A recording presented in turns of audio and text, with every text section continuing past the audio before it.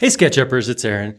So one of the things that I've shown in some of my videos is the concept of organic modeling. A lot of people push back and don't realize that uh, organic modeling is possible inside of SketchUp. A lot of times that we show organic modeling, we talk about extensions, things like sub-D or artisan to get those smooth flowing shapes. Um, it does make it easier. If you're going to do a lot of organic modeling, I highly recommend taking a look at some of those extensions uh, but it's not the only way to do it. There's actually, it's pretty easy to get some decent, smooth, flowy shapes using just native tools. So I want to take a look at that right now. And right here I have a motorcycle gas tank that I modeled in SketchUp using just native tools. So we're going to run through how I created this right now. I'm going to look at uh, reference images I imported. Uh, I want to talk real quick about how I set up to do it and then actually show you how I did it. So the first stuff is pretty simple. I brought in this 2D image of the motorcycle and it had a shot of the tank. So I went through and just traced the tank from three sides. So from above, from the back, and then from the side. I took those three shapes then, I grouped each one, and then I just lined them up. I used a combination of move and rotate to get them lined up like this.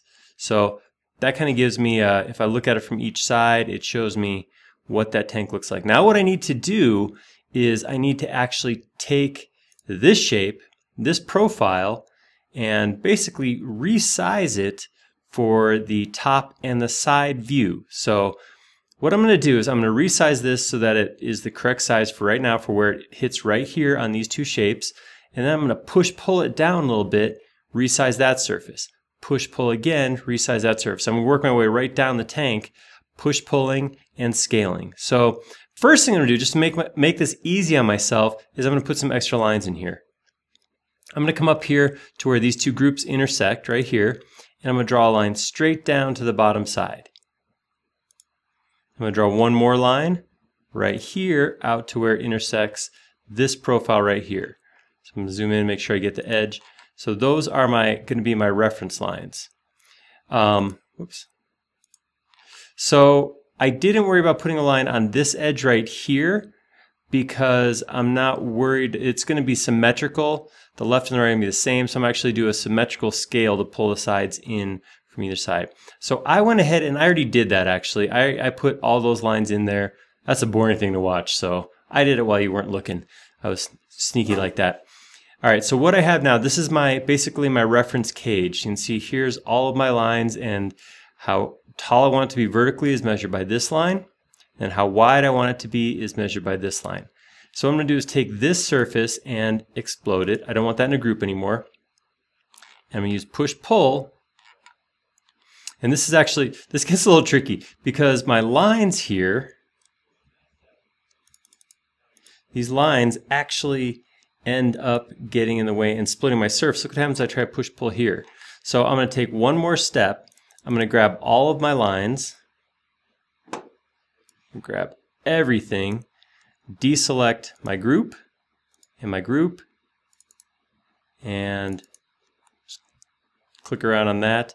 So now I have just my reference lines. Make sure I get the one on the bottom too. Nope. Grab that. All my reference lines selected, and I'm going to put them in another group just to isolate that geometry. Now I can come into this shape right here, click on, oops, I didn't get that one. All right, there we go. Click here, and I'm gonna come, I'm gonna pull this one out to this first spot. Now, now that it's here, I'm to select this face right here and I'm going to do scale three times.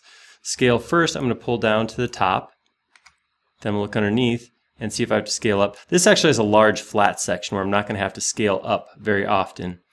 And then I'm to come on the sides. And the sides, I'm actually to hold on the modifier key. This is Option on Mac, Control on Windows, and I'll pull that in to that point right there. Then I'm to go to the next one push pull, click, drag this out to the line, click, and then with it still selected, scale, and then pull down, and then pull horizontally with the modifier key to scale uniformly to this point right here. I can actually do this to this first side too. This is actually a little bit too big, so I'll go ahead and scale. And I'm pretty close to the top on that one. My sides do have to come in. So modifier key and snap that into the point. So you can already see it kind of taking shape. It's already, see a little bit of a bulge there coming around. So I'm gonna go ahead and do that again. Let's select the end surface, push pull click out to here, scale vertically, horizontally about the middle, and I'm to do that real fast right now and just work my way right down to the end. All right, I'm down towards the end now, and this next piece is going to have to start stepping up. You can see that this was continuous plane down here because I didn't move anything. So before I pull out the next one, I'm going to actually hit the modifier key, Option, and click here and pull that out to the next piece. That's going to mean that I can take this one and as well as scaling like I have before, top down and then sides in about the middle. I can also grab this bottom and pull it up ever so slightly.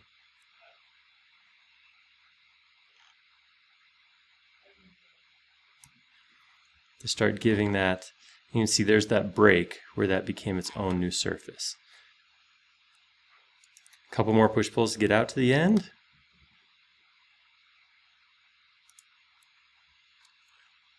And this time, top,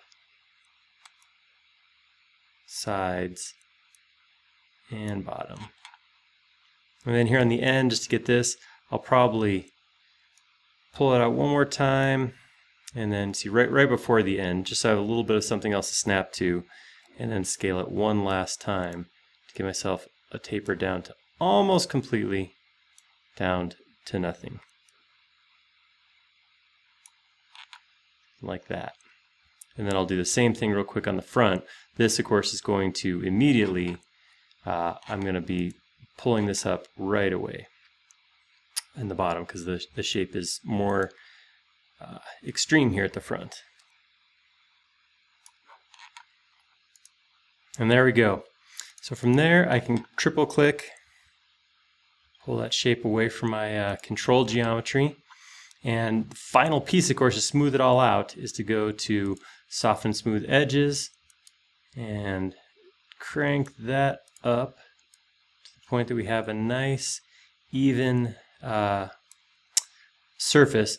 My issue right now that I'm running into, I do have a couple of surfaces inside here. So I'm going to grab this piece right here, temporarily hide it, and delete these internal surfaces. Oop, and a little internal line there. These are where I had to create new geometries. Um, there we go. go to Edit, Unhide All, triple click again, resoften that, and uh, ooh, there we go.